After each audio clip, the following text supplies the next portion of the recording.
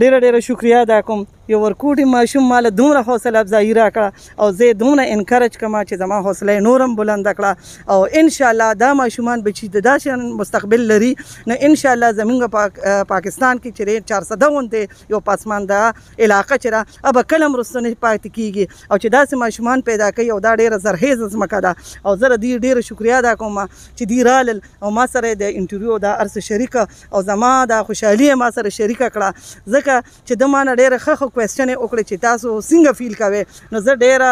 خوشحالي په دې باندې دغه کوم چې یاره زموږ ماشومان چې کوم دي نو دا په تعلیمي میدان کې چې دی زموږ د چار سدیز ځمکې د زرهیز ځمکې چې دی زموږ دا ماشومان چې دی په تعلیمي معیار کې چې دی نو د چا نه وروسته پاتې نه دي ماشاءالله ما وکتل چې ان شاء الله دا به مخکې هم دغسې وي او برقرار به خپل دا هر څه ساتو او داسې غوندې نوجوانان نسل چې موږ ساتو نو زموږ قوم به هیڅ چل هم وروسته نه شي پاتې کېدی د نورو ملکونو په نسبت ډېره مهرباني خوشحاله اوسئ اعوذ بالله من الشیطان الرجیم بسم الله الرحمن الرحیم لا اله الا الله محمد رسول الله صلی الله علیه وسلم کتونکو سلامونه زمانو محمد ابوبکر بختیار خان دی څنګه تاسو کته چې زما په څنګ کې ناس د فالکن سکول هډ منسټر دی چې کوم د سکول پرنسپل دی نو د هغې چې تاسو څنګه ماحول به تاسو ویډیوز کې کتلی مي چې کوم اوسنۍ ویډیوز لاړې هغې د خپل د سټوډنټانو دپاره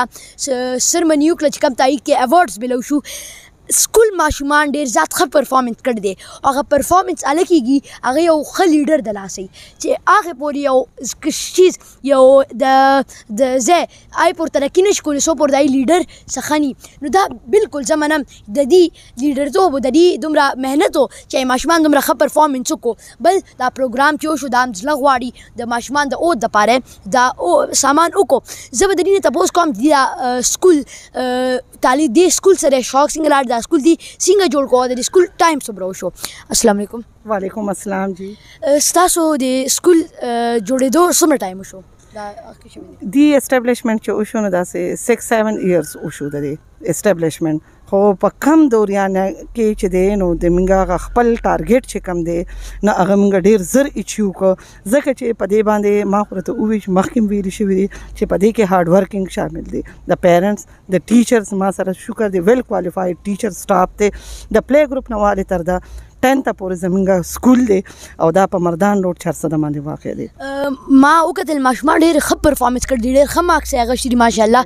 نو هغه د دې ریزن څه دی ځکه ماشوم خو لکه خپل نشي کولی کنه دا خو د دې سکول هم هغه چې ماشوم د سکول د لاس دومره مخکې لاړ او دومره ښه مارکس یې راغو هغه شتل دا مارکس ریزن څه دی د هغې شاته ریزن دا دی چې زمونږ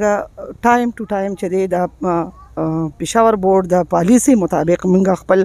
ماشومان چې دي پریپیر کړو د هغوی اسسمنټ ټایم ټو ټایم کړو د هغوی کوچنګ کلاسز ارینج کړو ټیچر ورکشاپ مونږ د پاره فرست اف آل مونږ هغوی لپاره ټیچر ورکشاپس ارینج کړل بیا هغه امپلیمنټیشن چې هغه بیا په سټوډنټس باندې وکړو اس ایل او بیس لرنینګ او ای مارکینګ حواله سره مونږ خپل سټوډنټس تیار کړل دا ټایم چې کوم او دا خو ډیر شارټ ډیوریشن او ځکه چې دا سیشن په میټ کې باندې دا رال دا ګورنمنت تر طرفه دا امپلیمنٹ شو چې آیا دغه سي اسلو بیس لرنینګ وي او ای مارکینګ به وي دا غي حواله سره موږ ورکشاپ کنډکټ کړل نو بیا غیره لپاره موږ خپل سټوډنټس تیار کړل ډیر کم ټایم کې خو په دې کې زیات تر مهنت چې کم دینو هغه زما د ټیچر د هغه کې د ټیچر او د پیرنټس لاس دی ځکه چې هغه د کوآپریشن نه بغیر دا نشو کېدی او نن چې موږ ته د هغه سلا د هغه فروټس چې نه هغه موږ ته اوس ملو شو د پېښور بورډ د ایگزام د رزلټ نه بعد چې نو د هغه چې موږ سټوډنټ چې دومره خولي مارکس اچیو کړی دي دا سکول تاسو ټول ټیچران چې ډیر خدي دا ویل ډیسپلین چونکه چارسدې کې زموږ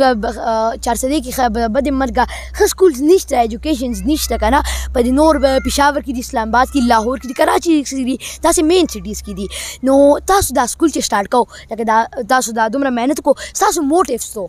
زمونږ مین مقصد چې زمونږ او د دې لپاره دا او چې د چارسدې د غریبو عوامو لپاره او یتیم یتیمانانو ماشومان لپاره چې فری اف کاست ایجوکیشن ورکړي ډېر ادارې دا سری چې هغه د فیس د وجې چې نو ماشومان چې ډېر پیرنټس دا سری چې هغه نشي افورد کولی او هغه په خو ادارو کې نشي رغ کولی چونکه مونږ یو خو سلیبس ورکو هغه کې موږ آکس فوډ سیریز او دا نور سلیبس موږ سکول کې ورکړ دي او فری اف کاسټ موستلی چې نو ما سره فری اف کاسټ ماشومان دا سری چې لکه اغي موږ بالکل فری بوکس یونیفارم سټیشنری ا ټو زی موږ دا غیره لپاره ارس ارینجمنت کړی دي ځکه چې موږ اغي کې هغه ټیلنټ وینو چې په 400 دی په ماشومانو کې هغه ټیلنټ شته خو دا را د بد مرګ دا خبره ده چې لکه اغي نشي افورډ کولای نشي تللی لوی لوی ادارو کې هغه سبقونه نشي ویل نو هغه انوایرمنټ ولې موږ خپل سکول کې ورکړی دی دغه زما یو لوی ایم چې ما وی چې زموږ د چارسدي عوام چې دی د دې ماشومان چې کم دي دا په تعلیمي لحاظ سره چې د نور هارونو په نسبت چې روسته پاتې نشي. چې دا ویډیو ستاسو ګوره د فلکن دا سکول دا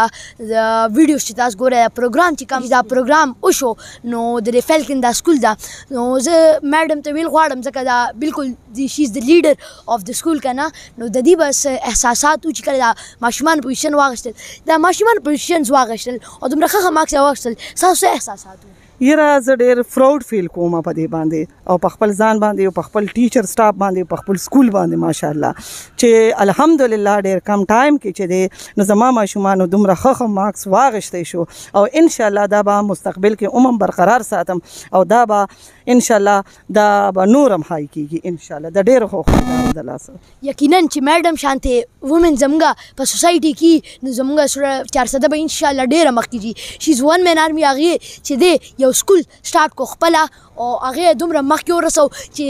شپږ و کال دومره سشیز نه دی خو بیا په دې کې دومره مارکس غشتل دومره پوزیشن غشتل دا یو لیډرشپ دی دا لیډرشپ په هر چا کې پکار دی او دا میډم یو مثال دی هر یو ومن د پاره هر یو خز د پاره چې څوک دي دغه ته ګوري چې تاسو هر څه کولی شئ خو لګ کوشش کوئ ټرای هارډ او تاسو ته خپل سیله ملو شي ان شاء الله په بل انټرویو کې به ملاویږم جزاک الله والسلام